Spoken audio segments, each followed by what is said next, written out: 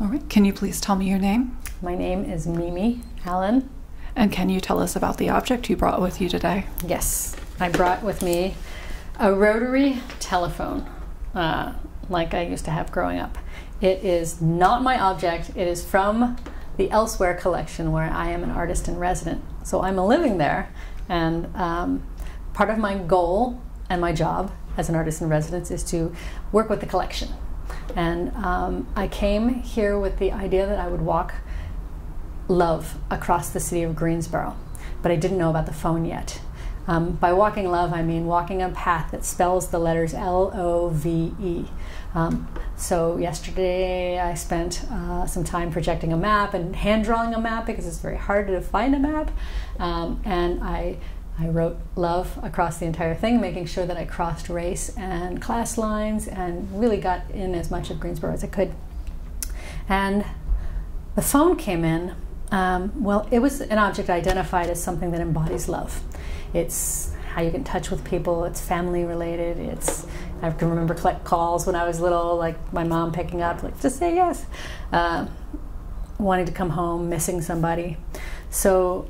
Um, I've been going to community meetings and to art openings and finding out what's happening in Greensboro. Um, I know um, about the history of Greensboro and the civil rights and the massacre, and I'm thinking about how it is we might embed love into the geography and how we all experience um, the same space differently. And with the phone, I carried around one day and everyone noticed it and said something. So it's like, this is a talking object. People will talk to me because I've got this. Um, and it came to me that what happened, instead of me asking questions to people, um, or the phone carrying songs or poems um, by famous people related to love, I would invite people to share encouragement, love, hope, hello, friendship to someone else in their community. And I would collect those voices and they would live on the phone. And then when as I walked around, or when the phone at the end goes to the museum, people could pick up the phone and hear words of encouragement that they might need to hear. So today was my first day of starting to walk, and I walked the L. It took me seven hours.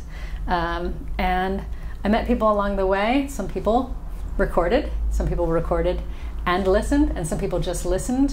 One of my last persons to listen was washing his car and I just said hello, and he said hello, and he said something else, and uh, then we got to talking, and I showed him my map, and he, I said, "Would you like words of encouragement?" And he listened, and he's like, "Oh yeah, I get it, I get it, yeah." And he told me then about his mother, who he was taking care of, who's 85, and she's got dementia.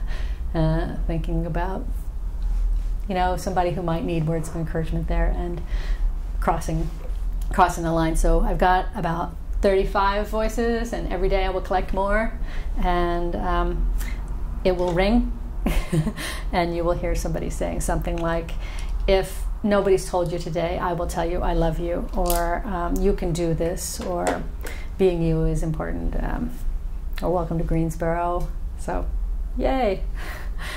Well, thank you very much for sharing your story and your project with us. Thanks for having me. It brought me here.